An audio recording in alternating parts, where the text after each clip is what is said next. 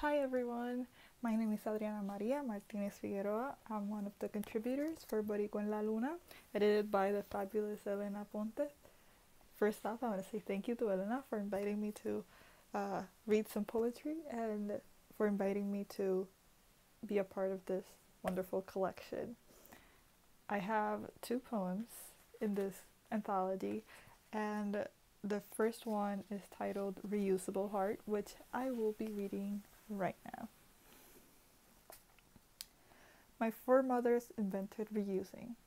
I say this because mommy must have learned the act of reusing plastic containers from someone. And I suspect it was abuela, but my abuela must have learned from someone too. I say this because my abuela is the first one to use the jar of minced garlic to store her homemade sofrito. And that jar of sofrito ends up in my mother's fridge.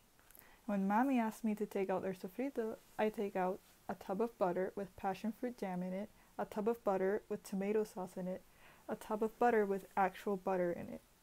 All before I ask her where it is. And she says, It's behind el pote de salsa de spaghetti. And I take out the jar of garlic that has sofrito, but I smell it before handing it to mommy because it's actually pesto. All before I actually find it behind the thing of hummus. When she's done with her sofrito, she hands me the empty jar. It had housed so many other foodstuffs.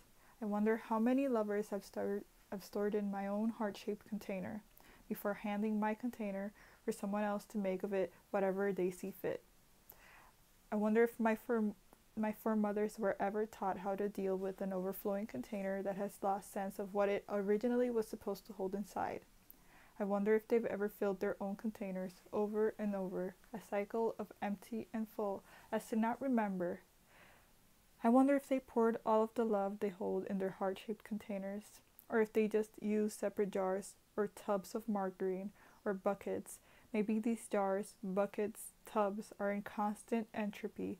Maybe my life is headed there, a body full of things that do not belong, a body that has forgotten what it was supposed to be in the first place. Hold for applause, hold for applause. Thank you. And the second poem is titled What is Home? It's an ode to my hometown, which is Vega Baja. So here it is. Home is una coronita on a cloudless day in la playa de Vega Baja.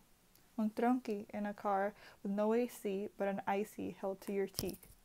A conversation that can't be heard well in a booth at Padillas learning how to skip stones in La Laguna with your best friend, gossiping about people we don't really like in the backyard, my cats asking for a little love and needing my boob, complaining about yet another power outage, the Uno cards ready to go because of the power outage, mommy asking me to go a la tiendita a buscar, a buscar hielo por si acaso, papi asking me to explain again how Instagram works, my brother saying he'll go with me at Colmado, but only if he can pick the music. My brother only playing Bad Bunny for the 10 minutes it takes to get the ice and return.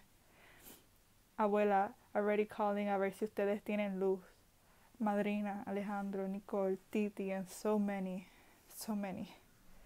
Relearning what your purpose in your family is. Becoming friends with your family because your friends left a long time ago. Cracking open another coronita and knowing that at least tonight we're going to see a sky full of stars. For tonight, we still have each other. Thank you, and I hope you enjoy the rest of your day. Again, you can find me at Boricua Reads on Twitter and Instagram, and on my website, boricuareads.com. Bye. Thank you.